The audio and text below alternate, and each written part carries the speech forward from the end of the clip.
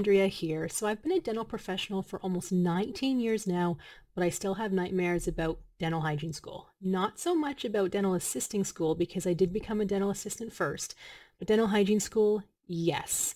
It was just more intense, more competitive. It was longer. You had to learn more in a shorter period of time.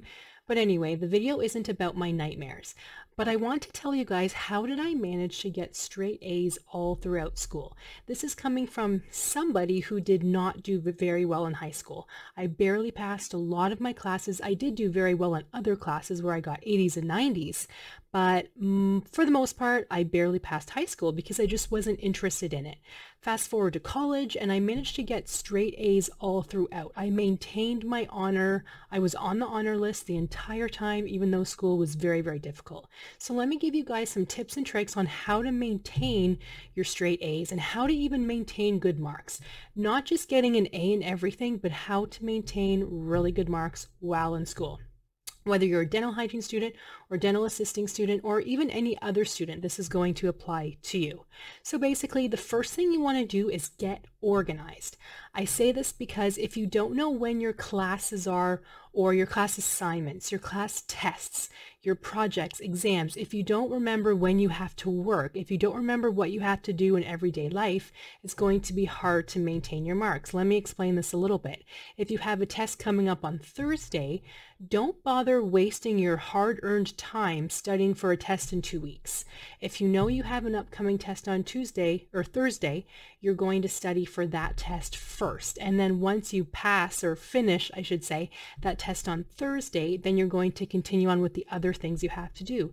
Being organized and maintaining a schedule is going to help with your time because that's the biggest key to success in school and maintaining good marks is knowing what's coming and being able to manage your time. Because I also say, make sure to take time off. I don't want you guys studying for eight hours every single day, then being in school and then having to work until midnight if you have a part-time job there is such a thing as being overwhelmed, studying too much, working too hard, not getting enough sleep, and then your marks won't be very good. But you also have to take into account some classes, some tests, some assignments, some projects are going to be worth more than others. It's impossible to study for 10 tests, 10 projects, 10 assignments all at once. But if this project is worth half of your mark, spend the time studying for that project if you have two tests, one assignment, and one project due on the same day. It's kind of hard to do that. If it's difficult to manage your time before that, say studying for test one a week before, study for test two a week before as well, but they're due kind of the same time. You have to study for both how is this possible? Then what you need to do is you need to look at what is worth more. If you do get a bad mark, what you need to do is go to your instructor and ask how you can make that up because life happens. They can't expect you to be perfect all the time. But if you don't ask, they probably won't tell you. And what's the harm in asking? All they can do is say no. Ask if you can rewrite a test or maybe do an extra project, maybe do an extra assignment to bring that mark up. What I also want you guys to keep in mind is don't be so hard on yourself. You can't get 100% in everything all the time.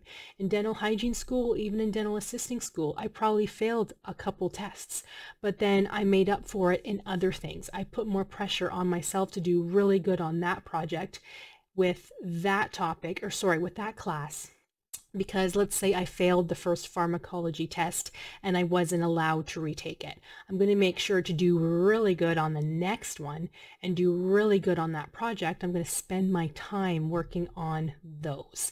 So don't be so hard on yourself and kind of look into other avenues if you can do a rewrite, another test, something like that.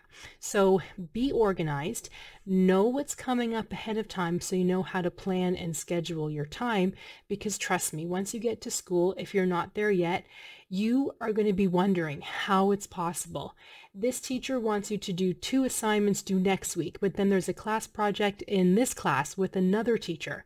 And then another class with another teacher has two exams due this month, but then they just assigned homework and then another project. Teachers don't collaborate, like they really don't. So you're going to have multiple tests, multiple assignments from everybody, but you need to do well. You need to pass those classes. Another thing that not everybody thinks to tell you, if you've ever watched any other study tip videos on YouTube, is aim to get 100%. Really, aim to do the best you possibly can. So if you get 90%, that's still really, really good. If you aim to just barely pass and get 50% or 60%, then you're already going into it like, well, I'm not going to pass this anyway, so I'm just going to do the bare minimum.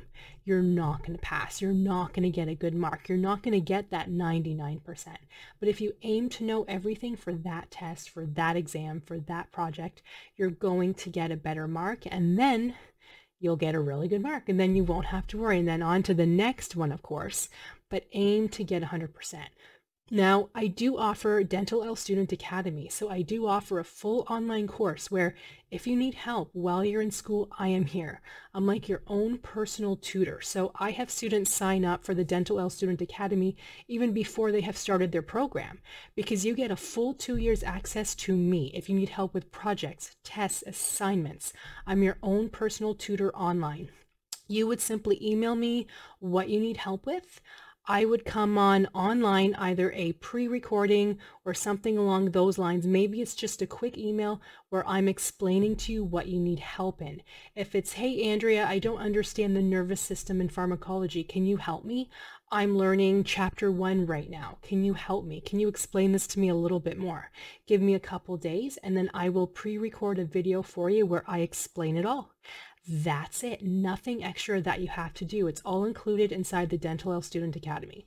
I remember when I was a student, I would have loved to have a tutor. I would have loved to just have somebody to ask questions if I didn't understand something. I would have loved to just have the extra help, but I couldn't afford it. To get the extra help in my school, you would ask an instructor and they would charge $60 per hour. Well, I didn't have that kind of money. When I worked part-time, I made like $10 per, per hour. So how is that going to work? But I'm your own personal tutor. You pay one fee, one time. You have full access to me while you're in school. So you guys think of these study tips, think of these these ways to get straight A's, but just remember don't be too hard on yourself.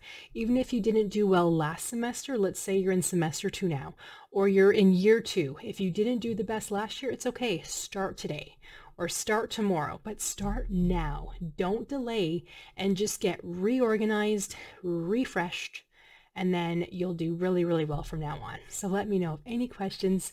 Thank you guys for watching and I'll see you in the next one.